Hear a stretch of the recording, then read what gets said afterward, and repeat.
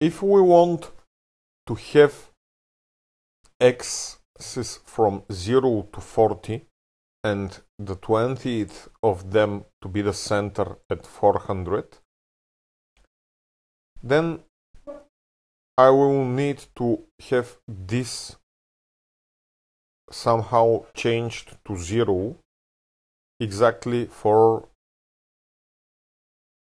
x20 and the way that I'm going to use and it, that it's going to solve the problem is if I write here x minus 20 so um, when x is a small number like 3 or 5 when we subtract 20 from it it's going to become something perhaps negative or if we are scared by negative numbers we can open the brackets open those brackets and we are going to have x multiplied by distance minus 20 multiplied by distance. And if you prefer this is the way I will write it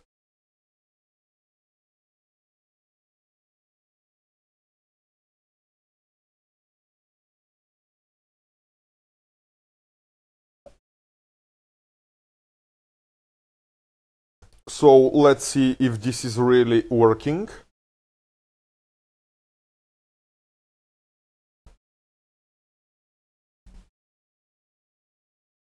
You can see that the squares were going to the left too.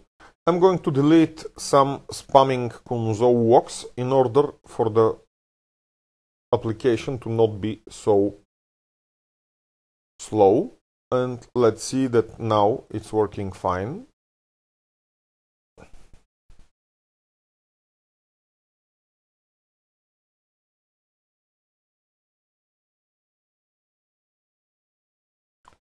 Yeah it's working fine but uh, I have to um, I'm seeing only squares down to the left and right. So I'm going to need the same change to the formula of Wise tool. Please do it and then start thinking of another formula for cover number or some interesting formula for cover number that is not going to depend on randoms chosen each time on each step, but instead a formula that is going to depend, for example, on x and y, so that we can have not not so changing blinking covers, but instead we are going to have the same colors for each of the squares moving out